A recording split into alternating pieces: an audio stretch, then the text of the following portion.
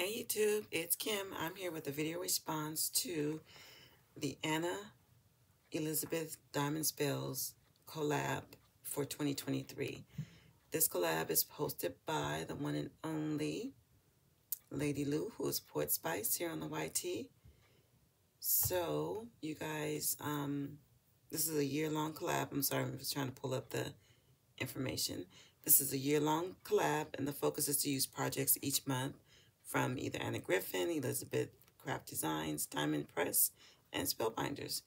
They post every second Friday at 10 a.m. Eastern Standard Time. So I just wanted to play along. I didn't join the collab, but I am definitely going to try to play along as often as I can. So here is my first project share. I used the Diamond Press You Are So. Didn't even realize I had this in my stash. I am cleaning, sorting, getting ready for a consignment sale.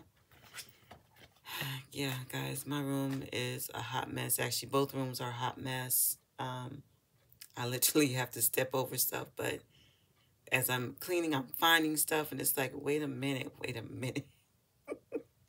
yeah, I, I know. I, I don't even know what to say. So I use that set, and I also use the Anna Griffin a matte foil that I showed you guys in the previous video. This is the Authorship. And what I did was I cut out a bunch of the words to use in my journals. And you can also use these on cards. And I did back them with this paper that I got from Tuesday morning 2020. And it's the letterpress. And this is like, it's maybe a little, it's kind of thick, but it's a, maybe not as heavy as 110, but it works. So I just cut out a bunch of them in the different colors and they're ready for cards. They're ready for journals. So let me just show you guys how I plan on using them in my journal.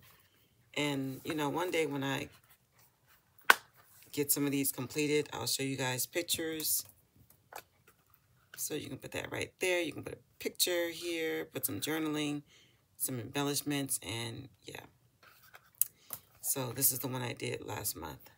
So yeah, that is my project share for hashtag Anna Elizabeth. Sorry guys. Anna Elizabeth Diamond Spells collab, again hosted by Poet Spice. So you guys, if you have any of those projects, join along play along, do a video response, and have fun and use your stuff.